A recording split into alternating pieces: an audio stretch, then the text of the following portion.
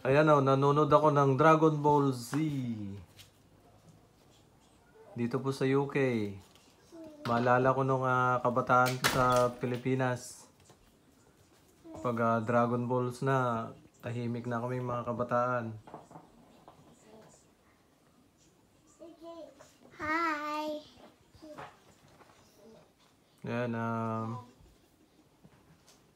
ito ang pinapanood namin dito sa UK kasama ko itong mga anak ko. Gusto rin nilang panoorin.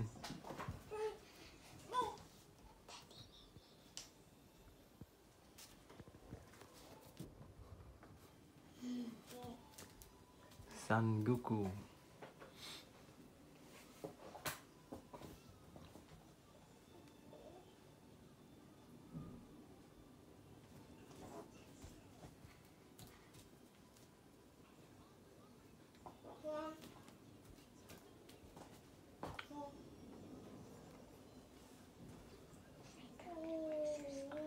Hmm?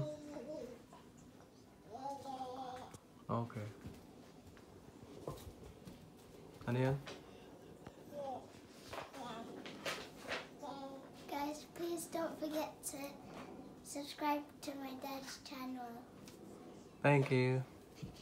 And make sure you hit that notification bell and like. Thank you, anak.